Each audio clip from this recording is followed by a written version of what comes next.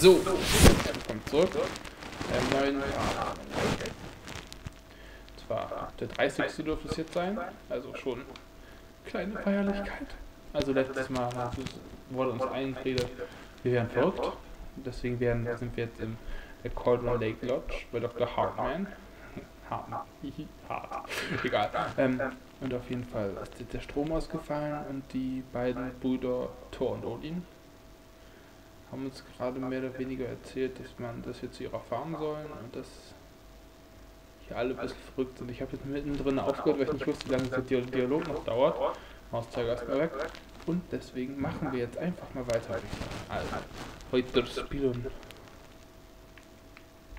Weiterspielen? Ah. Der fette Popolda hat den Verstärker durchs Fenster geworfen. Hat diese Hippie-Tussi am Hinterkopf erwischt. Muss ich den Night Spring spielen? und eine Gehirnerschütterung. Sehr schön. Bob ist jetzt tot. Leukämie. Ah, sehr lustig. Stiche, Schmitzel und Betäubungsmittel. Ah, ein übler Ort. Ach, wir müssen noch was machen. Was? Die Wahrheit. Wir haben ja eine Seite bekommen. Thomas Zanes Schriften und sein Assistent. Zane konnte die Gedichte spüren, wie sie Gestalt annahmen und Dinge formten. Beim Experimentieren stellte er sich vor, er könne die Macht durch die Schreibmaschinentasten spüren. Es berauschte ihn, erfüllte ihn aber auch mit Furcht. Wäre nicht sein Assistent Emil gewesen, hätte er aufgegeben. Doch Emil überzeugte ihn vom Gegenteil. Auch er war wortgewandt. Okay. So, Torolin, ihr erzählt zwar viel, aber ich muss hier vorankommen, sonst bin ich noch acht bin Folgen. müde, Mann. So müde. Wie schlafen? Achso, zu ihrem Zimmer zurückkehren. Das haben wir schon gelesen in der letzten Folge. Wenn ihr wissen wollt, was da steht, dann schaltet doch die letzte Folge ein. Und dann könnt ihr dann ja auch gleich gucken, was da so ist. Und dann könnt ihr sagen, wie toll das ist. Nein, müsst ihr nicht. Ihr könnt auch mal angucken, wenn ihr das wollt. Ja?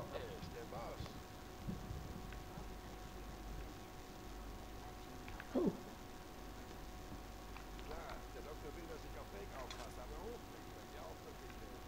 Hm.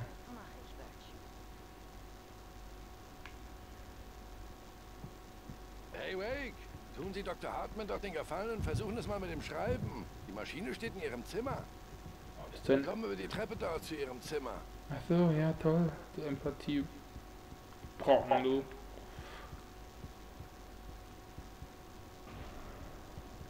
Irgendetwas stimmt nicht.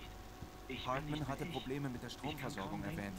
Vielleicht gab es deshalb den Kopf. Generator und die Lampen auf dem Balkon. alles andere verschwimmt. Ich bin seit Tagen in dieser Hütte, aber draußen ist es immer dunkel. Meine Okay. Lektorin ist real. Ich habe sie wieder gesehen. Sie, es ist nicht menschlich. Ein Dunkel mit dem Gesicht einer alten Frau. Schatten umklammerten sie. In ihrer Brust ist ein Loch, da wo das Herz sein sollte.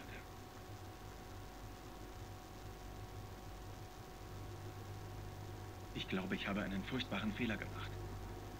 Ich werde Alice so nicht retten. Es hat mich belogen, um die Geschichte zu bekommen.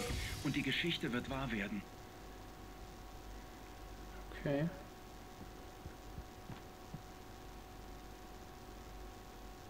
Hm. Leute, ich mache jetzt mal ganz kurz einen Break. Ich will wissen, wofür dieser Code da ist. Ich muss mir dafür kurz die richtige App, äh, App, App runterladen, aber ich will jetzt wissen, wofür, weil der wird bestimmt irgendwas zum Einscannen sein. Also, ich mache kurz einen Break und dann sehen wir uns wieder. So, ihr Lieben, da bin ich wieder. Ich habe jetzt nachgeguckt, also die, die, die Datei, also der, den Barcode, den man scannen muss, das ist gut eine Viertelstunde her, wenn mein Handy so lahmes Internet hat. Und es geht dabei um, äh, ein, es scheint wohl jeden Tag einen Barcode gegeben zu haben. Das ist jetzt der erste, den wir gefunden haben. Und da ist dann halt ein Bild äh, von einem Typen, der schmerzverzerrt guckt. Ähm, und da steht dann eben Verstopfung, das ist wirklich schlecht oder so. Äh, das klingt wirklich schlecht oder irgendwie sowas stand da. Ich werde das, ich bringe das Bild runterladen nebenbei und werde es einfach mit auf das Video schneiden. Werde es wahrscheinlich jetzt. Ups. Ach ja, ach, ich ja, ach ja, die Maus ist ja mit dem Dingsten verlinkt mit der Steuerung. Es auf jeden Fall hier so irgendwo Ich werde das Bild in diesen Bilderrahmen werfen. Also wenn ihr später guckt, könnt ihr in diesen Bilderrahmen jetzt das Bild sehen. Schön. So, dann können wir jetzt weitermachen. Ohne Bild im Bilderrahmen. So, der Fenster ist wieder aus. Fehler für der Thermoskanne. Thermoskanne.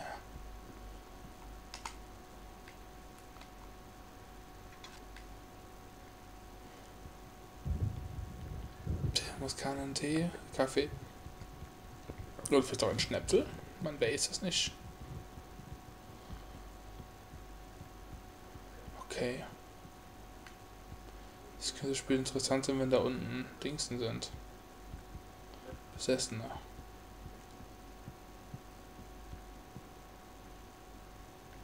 Lane. Das.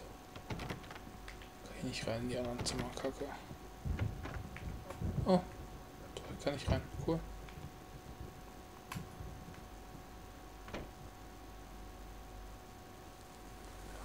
Rum? Achso, Maltabletten. Äh, Maltabletten. Äh, Zeichen. Ach, ich komme gar nicht auf, wie die Dinger heißen. Diese Künstlerpaletten.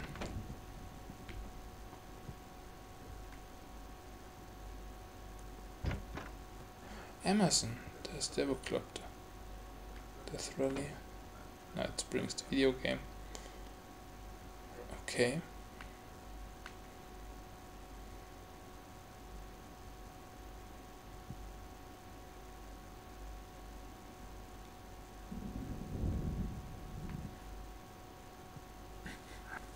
Ah, cool, hier steht ein Xbox 360 rum. Und das Xbox 360 Night Springs Game, das ist cool. Ja, das war's auch schon. Wir sind da. Das weiße Leuchten der leeren Seite vor mir tut mir in den Augen weh. Meine Hände zittern unkontrollierbar.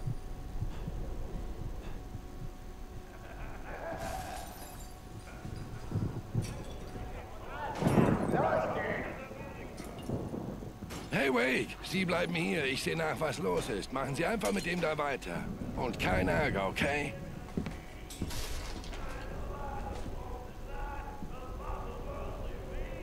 Ich kannte den Grund für den ganzen Tumult nicht. Aber darin lag meine einzige Chance, hier rauszukommen. Oh,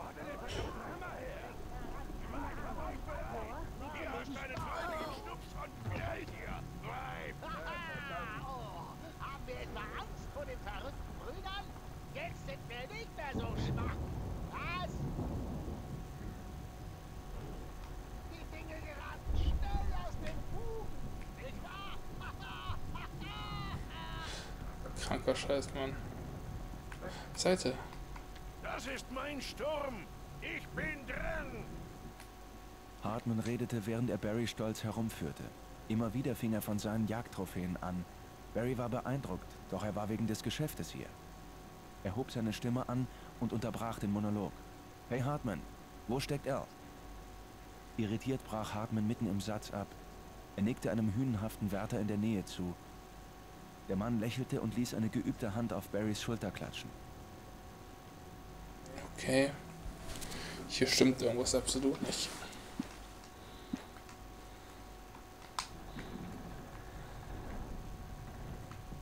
Das ist unsere Comeback-Tour, Baby!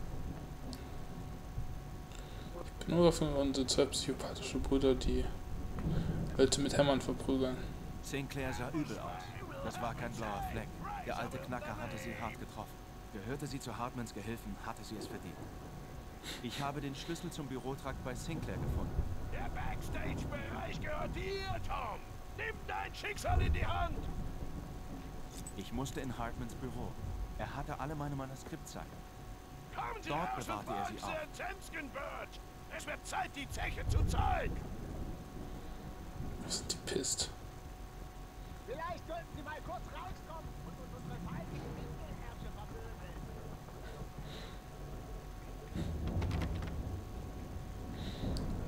faltigen Windelersch.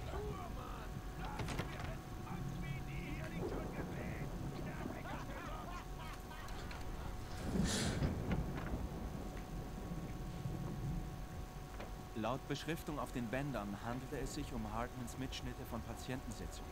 Auf einem der Bänder stand Alice Name. Einen Moment lang stoppte mein Atem. Okay. Also, Mrs. Wick, was können Sie mir über Alans Probleme berichten? Er gerät immer mehr außer Kontrolle. Auf den Partys ist er ständig so von Zorn erfüllt. Er wird gewalttätig. Er... Ihnen gegenüber? Nein, nicht mir gegenüber. Nein, niemals. Ich. Manchmal wünschte ich fast, Ellen würde mir eine scheuern, denn das würde wenigstens zu einem Gespräch führen, dem er sich nicht einfach entziehen kann.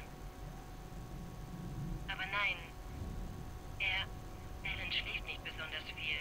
Und die Arbeit, naja, er schreibt nicht. Gar nicht. Er sitzt nur stundenlang da und wird immer frustrierter. Und ich kann nicht mit ihm reden. Nun, Mrs. Wick, was würden Sie ihm sagen, wenn er zuhören würde? Ich weiß nicht. Ich möchte sagen, ich sehe dich an und das bist nicht du. Nur irgendein Fremder, der dir ähnlich sieht. Er sieht mich durch deine Augen an. Und ich mag ihn nicht besonders. Und jetzt geht alles den Bach runter. Aber sagen Sie das denn nie? Nein, nein. Ich habe es versucht, aber er hört mir nicht zu. Er ist zu sehr in seine eigenen Probleme versunken. Redet immer über etwas anderes. Ich habe solche Angst, dass ich ihn verlieren werde und dass wir nicht mehr miteinander sprechen werden. Er lässt mich nicht mehr an sich Das sind. Bilder von Besessenen. im Dunkeln stehen. Ich bin so allein hier. Selbst wenn er zu Hause ist. Ich brauche Hilfe, Doktor. Ich bin mit meinem Latein am Ende. Wenn Sie ihn einfach herschaffen, werde ich mein absolut Bestes geben. Ja, aber Doktor, Sie müssen vorsichtig sein mit ihm. Er wird Ihnen nicht einfach so zuhören und mit Ihnen kooperieren. Er ist der größte Dickschädel, den ich kenne. Das behalte ich im Hinterkopf. Als ich ihre Stimme hörte, das, was sie sagte, fühlte ich mich glücklich, angewidert und schuldig zugleich. Das Schlimmste war, dass ich die Worte wiedererkannte. Ihr Anruf, er war nur ein Mitschnitt, nur eine Aufnahme.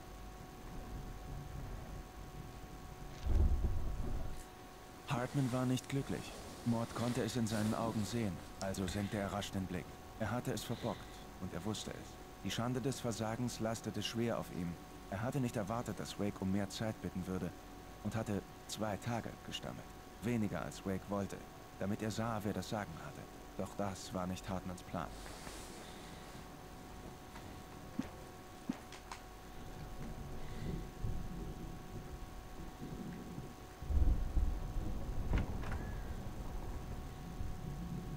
Ich betrachtete das Foto an der Wand genau.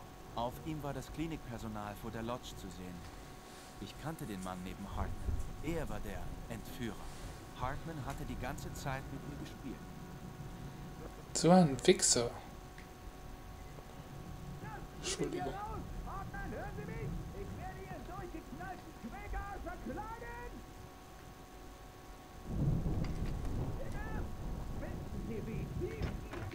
Barry? Oder auch Zeit. Barry, Mann, bin ich froh, dich zu sehen. Wir müssen zu Hartmans Büro. Das ist gleich nebenan. Alles klar? Ja, äh, ich meine, nein. Die Cops haben mich im Wagen von Rose gefunden. Die waren aber ganz okay zu mir. Ich bin hier ganz klar ein Opfer und habe verlangt, wie eines behandelt zu werden, weil ich Oh, Das hier sind alle Seiten, die ich bei mir hatte. Und mehr.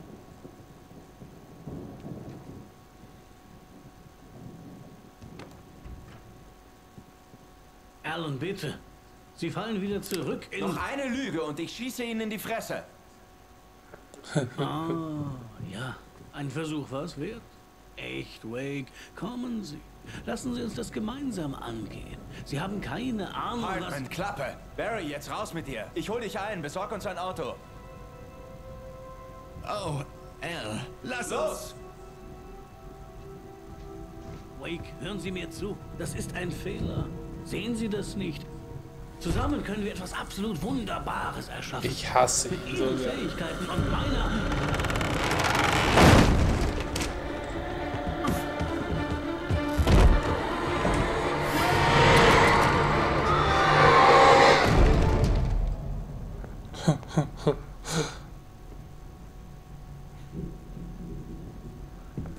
Grinsen. Er hat sich ja tierisch gefreut, dass der Kerl verreckt ist, aber. Das Dunkel würde mich in Kürze haben. Ich musste einen Ausweg finden.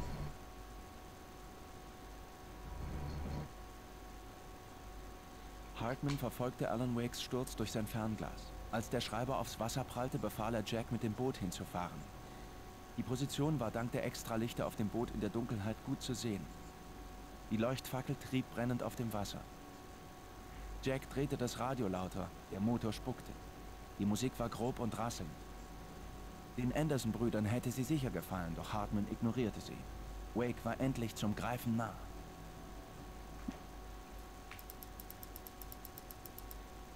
Mehr Seiten? Nee, das siehst du nämlich, das sind mehr, wären mehrere Seiten.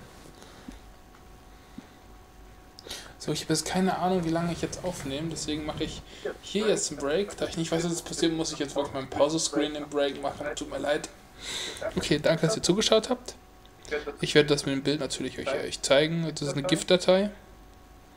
Und dann hoffe ich, es hat euch gefallen und ihr schaltet beim nächsten Mal wieder ein. Mir hat es immer Freude gemacht, für euch Videos, für euch ein Video zu machen. Und dann bis zum nächsten Mal. Und ich bin raus.